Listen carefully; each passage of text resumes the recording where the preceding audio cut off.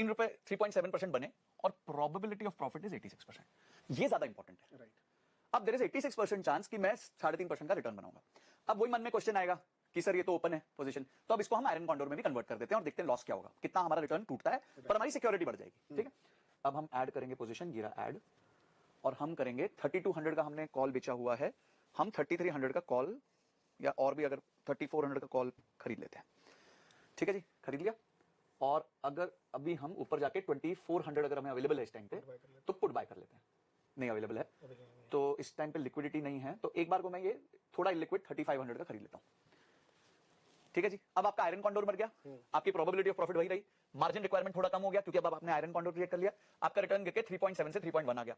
अब जहाँ आप खड़े हो वहाँ से मोटा मोटी 11 परसेंट नीचे और 10 10.3 परसेंट ऊपर आप सुरक्षित हो। थर्टी डेज़ के लिए। लाइफ लॉन्ग के लिए नहीं। तो 30 दिन में ऐसा पता नहीं क्या होगा जिस वजह से ये नंबर्स ब्रीच होंगे। अब आप देखिए कि अगर आपके आपकी थीसिस सही निकलती है और अचानक से कल मार्केट रिलायंस 2 परसेंट ऊपर चला जाता है। तो अभी भी आप 1.8 परसेंट ही नेगेटिव हुए। अचानक से अगर ये रिलायंस ढाई परसेंट नीचे चला हमने वो ढाई परसेंट ऊपर किया था।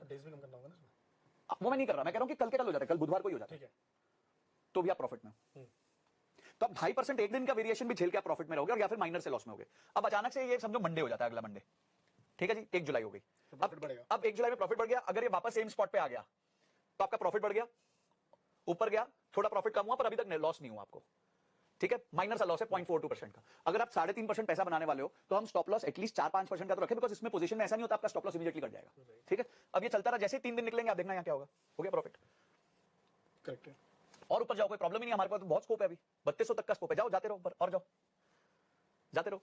हम लोग अभी भी बचे हुए हैं। ठीक है? अचानक से चार दिन निकल गए। कम हो गया। चार दिन और निकल गए। आगे वापस प्रॉफिट में और एंड खत्म हुआ। पूरे का पूरा प्रॉफिट आप रियलाइज़ कर लोगे।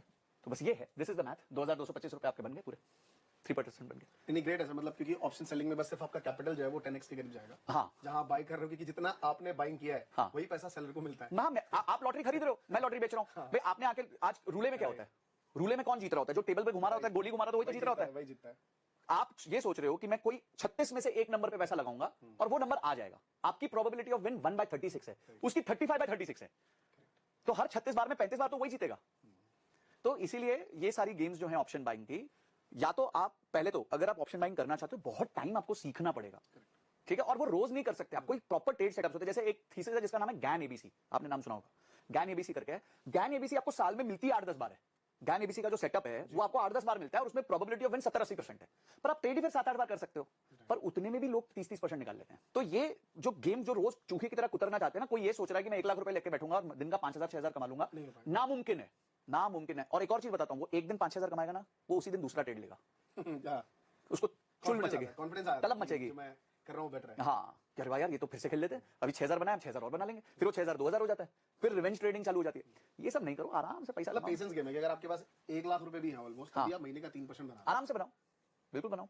तीन परसेंट बना के जाओ। और कम रिस्क है ना। 86 85 परसेंट प्रोबेबिलिटी ऑफ़ प्रॉफिट पे चल रहे हो आप। नहीं ग्रेट सर मुझे भी काफ़ी कुछ सीखने को मिला इसमें। जी। और आपने बहुत डिटेल में इतना कुछ समझाया। डेफिनेटली सबको समझ आ गया होगा कि यार इंडेक्स में नहीं करना है क्योंकि high volatility index is high volatility आप हमेशा जैसे सर ने बताया ब्लू चिप उसमें भी बहुत जाए जो बिल्कुल बैठे हुए हैं हाँ। उसमें जाओ उन स्टॉक्स को ढूंढो। जैसे उन सब ढूँढने की ज़रूरत क्या आपको स्टॉक्स टॉप फाइव है। आप रिलायंस है टीसीएस है इन्फोसिस है।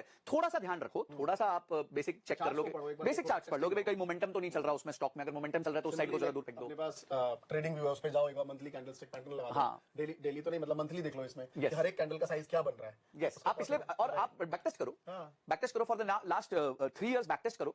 आप पता करो आपका कॉन्फिडेंस बिल्ड करो कि अचानक से एक दिन में कितना मैक्सिमम मूवमेंट आया है। है। सब सब चेक करो कोई चक्कर ही नहीं है। सिंपल है परसेंटेज आप इजीली चेक करिए यहाँ से। हाँ, Range बना के। आता ही है। हाँ। हर एक चेक करिए एक बार कि कितना परसेंटेज कहाँ से कितना बन रहा है। आपको दिखता रहेगा यार। मतलब ऑलमोस्ट आप ये चेक कर सकते हो ट्रेडिंग ट्रेडिंग में कि हर एक मंथली कैंडल में कितना वेरिएशन और आप देखो most of the candle variation ना आपका बनेंगी छह से आठ परसेंट पूरे महीने में। Correct. तो विच इज़ ओके आपको फिर धीरे धीरे आप डिके खा रहे हो बेसिकली जो प्रॉब्लम बायर की है वो आपके लिए सोल्यूशन है। स्पॉट प्राइस से 10 परसेंट ऊपर। दस से बारह परसेंट ऊपर price दस से बारह नीचे। परसेंट दस से बारह परसेंट नीचे। बस। आप सो जाइए आप फिर सो जाओ उसके बाद। कोई चक्कर नहीं है इतना बड़ा वेरिएशन आना मुश्किल है। अगर आपको मेरे पे कॉन्फिडेंस नहीं है मत रखिए। बैक टेस्ट कीजिए। प्रश्न मत करो बैक टेस्ट करो। मैं तो सिंपल बोलता हूँ कि ये हो गया तो, तो चेक कर लो। कि भाई पिछले पाँच सालों में ये हो गया तो इवेंट कितनी बार आया है। ठीक है कोविड का एक ब्लैक स्वॉन इवेंट था। और अगर आप आयरन कॉन्डोर बना के रखते हो तो, तो आप ठीक है थोड़ा सा लॉस करोगे। सबने किया होगा उस दिन। ग्रेट सर अच्छी स्ट्रेटजी आपने बताई। डेफिनेटली ऑडियंस को काफ़ी मज़ा आ रहा होगा। कमेंट्स करके